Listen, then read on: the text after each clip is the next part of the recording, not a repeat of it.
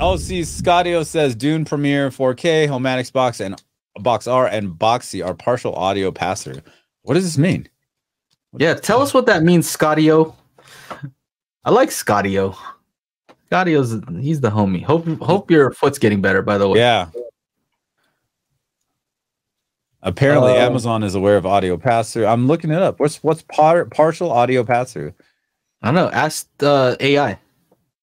Let me see if this AI will know. Let's see. Uh, let me try one. Joe will be a croc addict. Wah wah wah. he already is, I think. Hello. What is partial audio pass through?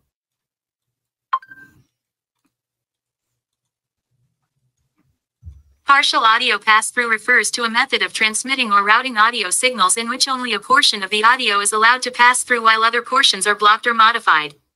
This technique is often used in audio processing systems or devices that aim to selectively alter or manipulate certain frequencies, channels, or components of the audio signal while leaving the rest unaltered. It allows for targeted modifications or mm-hmm. enhancements without affecting the entire audio signal. Okay. How about regarding True HD or DTS master files? Regarding True HD or DTS master files, partial audio pass through refers to a scenario where a device or system is capable of passing through the core audio stream of a True HD or DTS master file without decoding or altering the high definition audio components. Mhm. In other words, the device allows the unadulterated lossless audio signal to pass through without any modifications, enhancements, or downmixing. Okay, that's enough for that. Goodbye. Goodbye. Um, so I don't know if that's correct. I don't know. That sounded like full pass through. That last thing that was Yeah. described there. Um. Oh, I That's really see. So I do know that a lot of times, like they can pass through, like you know, there's True HD that's just seven point one. Yeah. That's that's lossless. You know, Mhm. True HD, but True HD with Atmos is a different thing. So maybe the maybe they're saying that you can't pass through the Atmos True HD. I've seen that happen. Well, I mean, I don't know. I don't know. It seems pretty odd if it's bit if it's digital, if it's bitstream, wouldn't it just send out the signal bitstream? Because the none of these players are decoding Atmos. None of these players are decoding DTS. Mm, that's mm, that's mm, that's all mm. happening, right? It's as long as Uh, it's bitstream. It's just like the Blu-ray players. The Blu-ray players aren't Atmos capable. If you play an Atmos track on a Blu-ray player and send it out bitstream, it says True H. It says Dolby True HD on the Blu-ray player, but it says Atmos on the receiver because the Dolby True HD is delivering the Atmos. Some of these have Dolby MAT support though. What's MAT? Dolby MAT? Well, is that like a sound mat? MAT, where like um like like Apple TV, Okay. when you play uh Dolby Atmos on Apple TV, it will um I'm not sure if it's for Dolby Digital Plus or or just True HD, but I think when I yeah, I think when I connected it to my Denon, Mhm. it just shows multi-channel in, you know, it's just sending the PCM signal because Mhm. all of it is happening in the Apple TV itself. Right. So I I'm like, why can't I use Auro-3D on this thing when I use the Apple TV? Yeah. It's because it was already sending PCM. And so what I needed to do was I needed to turn off Atmos on the Apple TV. So it was sending just a 7.1 and then I could upmix it. So yeah, Dolby MAT is a way for them to uh, do all of the uh, Hmm. decoding in the box itself. And I think Scottio this can do says. Scottio says he's going through the specs and he thinks it's a chipset limitation, but I think they use those Realtek 19 something or others. Like it says it on the Dune box. And I looked at the uh, chipset for the Zidoo and I, I don't know what the chips mean, but is the higher number the newer, or faster, better one?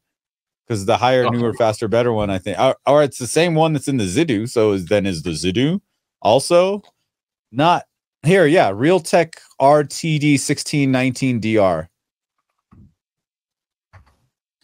Uh, that's what that's what's on the Dune HD that I have. Should I get the box? It's upstairs. Oh, hold on a second. So I wait. I shot a vid. Where does it go? I mean, we can probably just pull up the Amazon page too. I have the Amazon for this particular one up, and Dune HD, real vision, 4K. they're real tricky about this stuff. Yeah, though. RTD 1619 RD, bro. DR. RD. What's RD or DR? Which uh whoa. My my all fucked up. Yeah, RTD 1619. Isn't that the same thing? It will do pull full. Then it should do full. If it's this RTD thing. Ah, find RTD. RTD 1619 DR. Yeah. This is the um Dolby MAT is Dolby Matrix. Mhm. I don't know, Newer you- you might- technology. You might have to approve that with Keanu. Why does uh I'm trying to find this information on this. It's they're really tricky though. A lot of times it's really tricky because it'll say, yeah, it does Dolby Atmos. Yeah, the Dolby Digital Plus version. The lossy version. Yeah. Oh, it, it and then it they'll say, oh yeah, it also supports True HD. Yeah, it'll do that. But it won't do both. Some of them won't do both. I think Uh, this one definitely can do uh, True HD with Atmos. Which one? This one that's on screen or the one you're talking about? This The one right here. Hold on, let me. lem- I'm looking. Oh, up to Do do do do do do. DTS. Yeah, I think uh I don't know from what Scott was saying. Um uh, all these dunes have the RTD. Oh, actually no, this Homatics one doesn't have the RTD processor. So Oh, the Real Vision 4K that I that I bought is coming. It has the RTD. if you're wondering why we're kind of quiet, this is what I'm looking at currently. Uh, this, this is what I'm looking at. Look at look at all. I'm trying Whoa. to find what what it does specifically. Mm, so Dolby Digital, Dolby Digital Plus, Dolby Digital Plus with Atmos, so that's the lossy version. Dolby True HD, Dolby True HD with Atmos, okay, and DTS. DTS, DTS HD, HRA, DTS HD, MA, DTS X. All formats can be decoded by the media player and output via HDMI as multi-channel and compressed PCM. See, but up to 7.1 Yeah, when it comes to oh, here we go. Keep reading. That that the following formats can be output as bitstream: Dolby Digital, Dolby Digital Plus, Dolby Digital Plus with Atmos, Dolby True HD, Dolby True HD with Atmos, DTS. Ah, Yeah, maybe that's it. notice what it's missing, right? It's not. It's not. It doesn't have this one, Okay. right? So that's Yeah. the tricky thing. Like you have to like really look into it.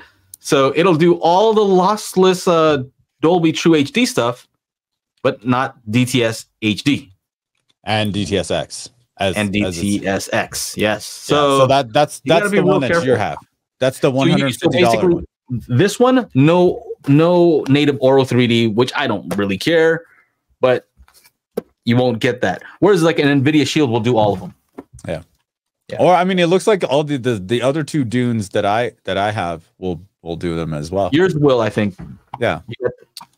Yeah. So Uh, how much? How much that will? Uh, you know, how much I will actually care about that? Uh, probably not.